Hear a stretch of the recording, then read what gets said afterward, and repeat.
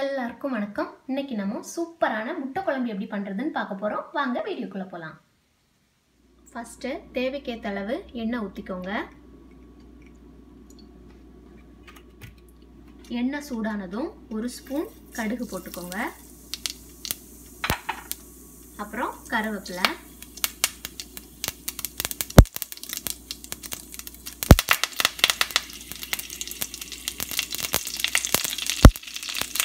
அப்புறம் ரெண்டு medium size வெங்காயம் நறுக்குனது. அதையும் இது கூட போட்டுடலாம் கடுகு எல்லாம் போட்டின உடனே.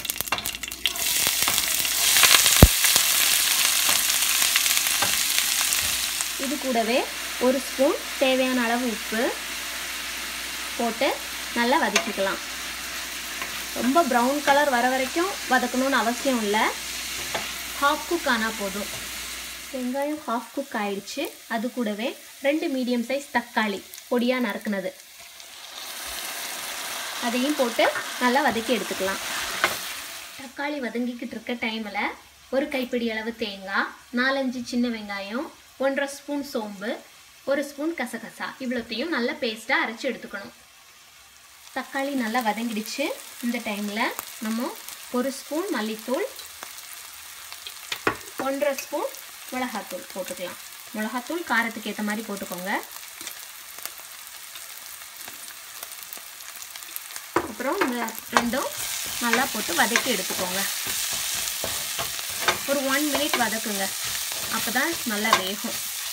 இது கூடவே ஒரு ஹாஃப் ஸ்பூன் மஞ்சத்தூள் போட்டுக்கோங்க. போட்டு வதக்கிக்கோங்க. மசாலாலாம் நல்லா வதங்கிடுச்சு. இது கூடவே ஒரு கப்பு தண்ணி ஊற்றிக்கோங்க தண்ணி ஊற்றி இந்த தண்ணி நல்லா கொதிக்க விடுங்க.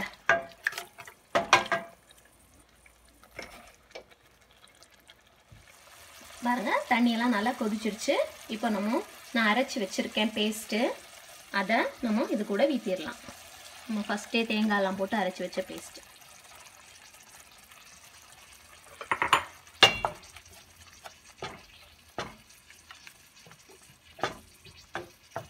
இதையும் நல்லா கொதிக்க விடணும்.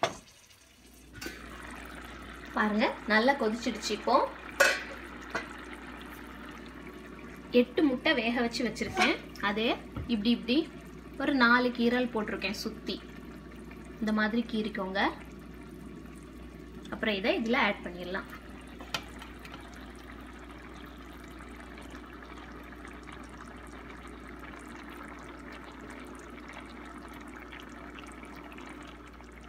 லைட்டாக இப்படி குலுக்கி விட்டுக்கோங்க. அப்போ முட்டை ஃபுல்லாக குழம்பு கோட் ஆகும்.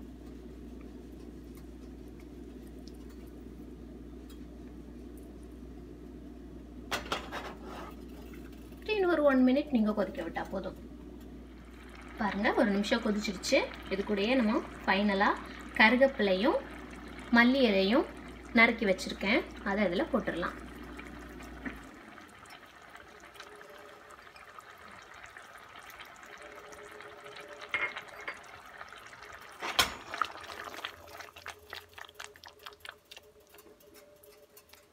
அவ்வளோதான் இனிமேல் நம்ம இறக்கிடலாம். பாருங்கள் நம்ம முட்டை குழம்பு சூப்பராக ரெடி ஆயிடுச்சு.